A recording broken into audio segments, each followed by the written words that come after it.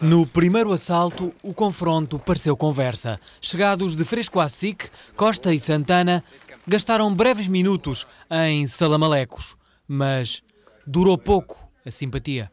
É com muito gosto que vou disputar estas eleições consigo e queria cumprimentá-lo e dizer-lhe que uma coisa são as apreciações políticas e a forma como gerimos a Câmara, um e outro, e outra coisa é a consideração pessoal. Também sublinho com certeza que nada que estamos aqui a dizer envolve considerações de ordem pessoal.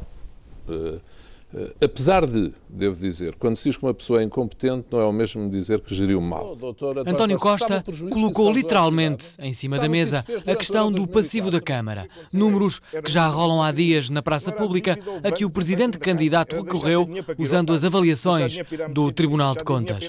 E quando, em 2005, faz o quadro global, e não sou eu que digo, é o quadro que o Tribunal de Contas faz, comparando a evolução das contas de 2001 a 2005, o resultado é muito claro. Na gestão do Dr. Pedro Santana Lopes, as dívidas, o passivo, duplicou, passou de 561 milhões para 1 milhão, e as dívidas de fornecedores passaram de 54 milhões para 196 milhões. Os relatórios do Tribunal de Contas são claríssimos. O seu passivo duplicou e a sua dívida a fornecedores quadruplicou.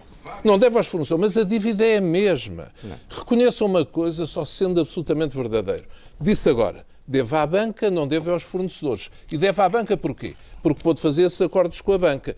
Reconhece que nos anos anteriores em que eu estive na Câmara, eu estava proibido, eu e todas as câmaras, de fazermos esses acordos com a banca. A sua política de endividamento junto dos fornecedores é que ninguém fiava mais à Câmara e por isso é que a Câmara paralisou. Mais de um terço do debate centrado no passivo, mas ativo no passado. Pelo meio, um vasto conjunto de apartes. Não há censura.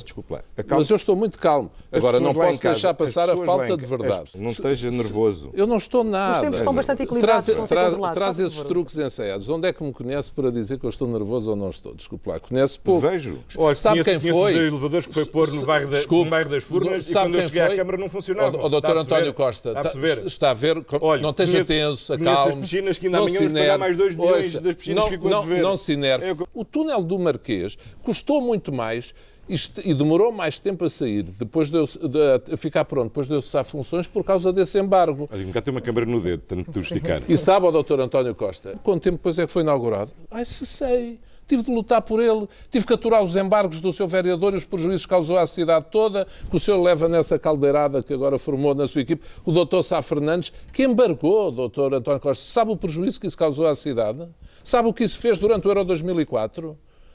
São, e está lá calculado, cerca de 4 milhões de euros. O senhor disse que eu herdei uma dívida em que se pagou o túnel do Campo Pequeno. Sabe como é que foi pago o túnel do Campo Pequeno? Faz ideia? Sabe quanto é que custou? Não faz ideia nenhuma. 11 milhões de euros. Só no longo entretanto, os candidatos aceitaram mudar de agulha. Falaram de obra, mas no tom em que tinham falado das dívidas. Eu quero falar de obra ou Clara de Souza, que é uma coisa que, que o doutor António Costa não gosta nada de falar. Obra. Não gosta nada de falar. Gosta muito de falar do passado, gosta muito de falar destes números. Porque quem fala do passado, aliás, é como o engenheiro Sócrates, são os dois a mesma, uma face e a outra face a mesma moeda. A cidade não precisa de obras emblemáticas. Não. A cidade precisa urgentemente daquelas pequenas, grandes obras que fazem a diferença para as pessoas no dia a dia na equipa que vou constituir, não andará cada um a dizer a sua coisa. Terão o rumo, objetivos bem definidos. Comigo saberão que o aeroporto fica em Lisboa. Lisboa não perde um aeroporto. Estilos diferentes em confronto com Lisboa, em pano de fundo. Um pano opaco.